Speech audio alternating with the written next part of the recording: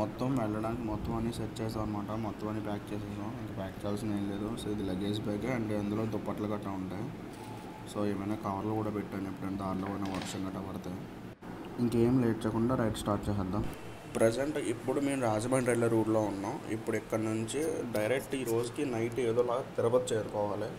So time ఇప్పుడు వచ్చి eight thirty అయిపోయింది. అసలు మేము ఫైవ్కి బయలుదేరదాం అనుకున్నాం. బట్ కొంచెం లేట్గా లేచాం అనమాట నైట్ లేట్గా పడుకోవడం వల్ల. ఇప్పుడు ఏంటంటే నైట్ నైట్గా ఏదోలా తిరుపతి చేరుకోవాలి. సో వర్షాలు ఎక్కడైనా పడకపోతే మేము ఆల్మోస్ట్ వెళ్ళిపోతాం. ఒకవేళ వర్షాలు ఎక్కడైనా పడితే కనుక హరికి అయితే మా హరిగడికి అయితే రైన్ కోట్ లేదు. సో నాకు ఒక్కడికి ఉంది. దారిలో ఎక్కడైనా కనబడితే తీసుకుందామని వచ్చేసాం అనమాట ప్రజెంట్ రాజమండ్రి వచ్చాం. టైం వచ్చి నైన్ ఫిఫ్టీన్ అవుతుంది.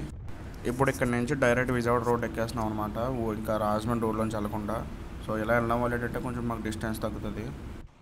అండ్ ఫైనల్గా విజయవాడ సిటీకి అయితే ఎంటర్ అయిపోయాం. అండ్ ఇవాళ క్లైమేట్ కూడా చాలా అంటే చాలా చాలా బాగుంది. సో మాకు రైడింగ్ చేయడానికి ఏ ఇబ్బంది లేకుండా కూడా సూపర్ ఉందన్నమాట. అటు వర్షం పడుతుందో లేదు అండ్ ఇక్కడ వైపు వెంట కూడా పూర్తిగా లేదు. అట్ ద సేమ్ టైం గాలి కూడా లేదు.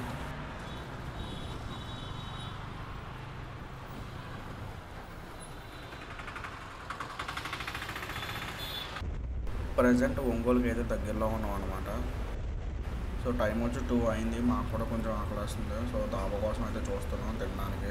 సో కరెక్ట్గా ఎక్కడో తెలియదు బట్ మంచి ఆకలి ఉందని దాబాలాగా అనమాట రోటీ విత్ ఏంటది? కాజు పన్నీర్ కదా? Half litre Thums Up bottle. కరెక్ట్గా చెప్పారు ఈసారి ఈసారి కరెక్ట్గా చెప్పారా? పొలక పెద్ద ఏం లేదా? కర్రీ అయితే బాగుంది కదా? కర్రీ బాగా కర్రీ బాగానే ఉంది కానీ పొలక మాత్రం దెబ్బ వేస్తుంది అండ్ ఆ తర్వాత అయితే మేము ఒక బటర్ నాన్ చెప్పాం. బటర్ నాన్ అయితే కొంచెం పర్లేదు అనిపిస్తుంది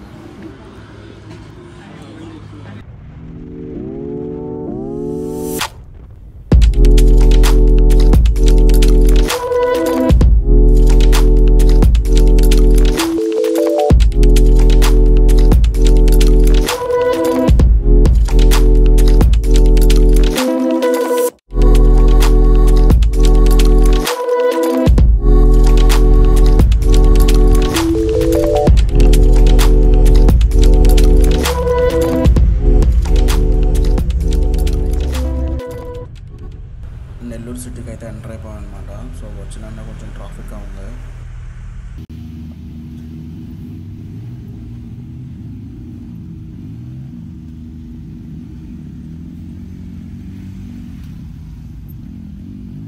నేను ఇంకా ట్రాఫిక్ ఉందంటే ఏదో సిగ్నల్ అనుకున్నాను బట్ ఇక్కడైతే సిగ్నల్ లేదు బట్ ఇంత ట్రాఫిక్ ఎందుకు ఉందో అర్థం కాలేదు.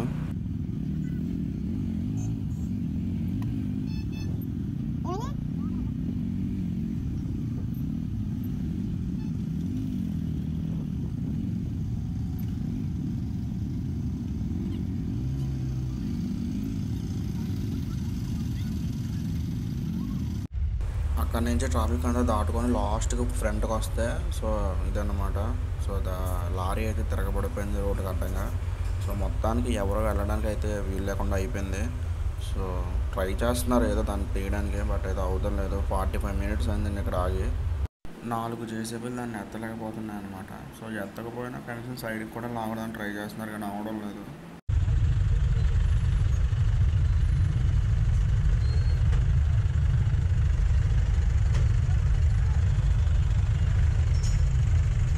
మీకు కనబడుతున్నట్టుంది. చూడండి ఎలా తెరబడిపోయిందో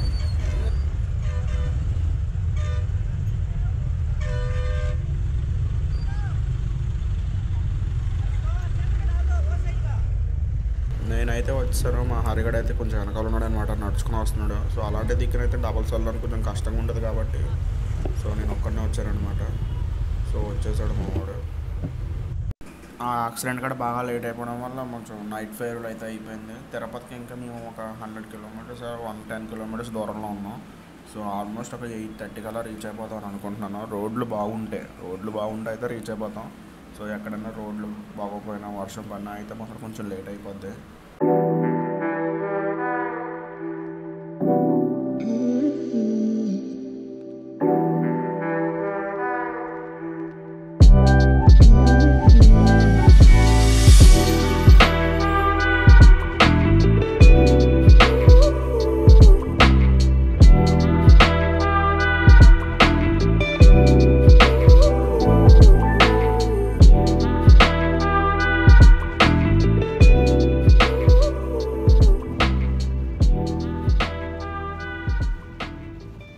మొత్తానికి అయితే లైట్ ఫెయిల్యూర్ అయిపోతుంది. ఇప్పుడు వచ్చి మేము ట్వంటీ ఫైవ్ కిలోమీటర్స్ అయితే క్రాస్ చేసాం అంతే.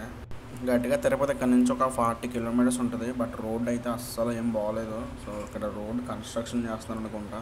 సో ఇప్పుడు నేను ఉన్నది ఏంటంటే శ్రీహాల శ్రీకాళహస్తి నుంచి తిరుపతి వెళ్తున్నాం. సో తిరుపతికి ఇంకా ఫార్టీ కిలోమీటర్స్ ఉంది. సో ఇక్కడ నుంచి మాకు రూట్ తెలియక మ్యాప్ చూసుకుంటూ వెళ్తున్నాం అనమాట ఈ రోడ్లు ఏంట్రా బాబు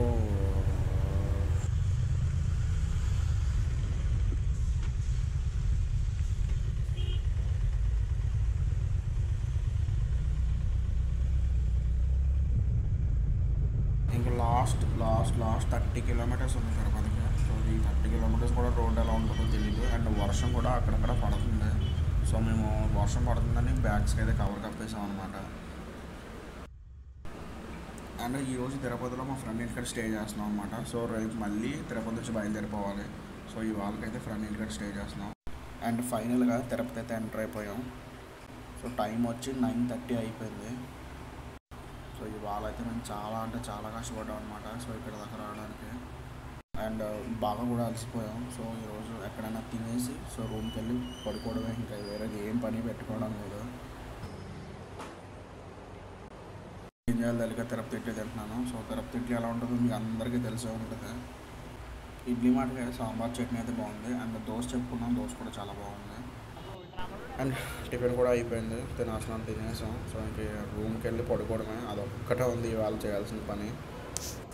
సో తమిళనాడు కేరళ ట్రిప్లో ఈ రోజు ఎలా గడిచిందనమాట ఫస్ట్ రోజు. ఎక్కువ జర్నీ చేయాల్సింది ఈ ఒక్క రోజే. మిగతాదంటే కొంచెం కొంచెం కొంచెం. సో ఇంకా లాస్ట్కి మా రూమ్కి వెళ్ళడానికి ఒక ఫోర్ కిలోమీటర్స్ దూరంలో ఉంది. సో ఇంకా రూమ్కి వెళ్ళి ఫ్రెష్ అయి పడుకోవడమే. చేసేది ఏమంటూ ఉండదు అండ్ ఈ వీడియోతో ఇక్కడితో ఎండ్ చేస్తున్నాను ఎందుకంటే చాలా చాలా పెద్ద వీడియో అయిపోయింది. సో లెవెన్ మినిట్స్ వీడియో నేను చేస్తాను అనుకోలేదు. సో ట్వెల్వ్ మినిట్స్ అయిపోయింది. లెవెన్ మినిట్స్ కూడా కాదు.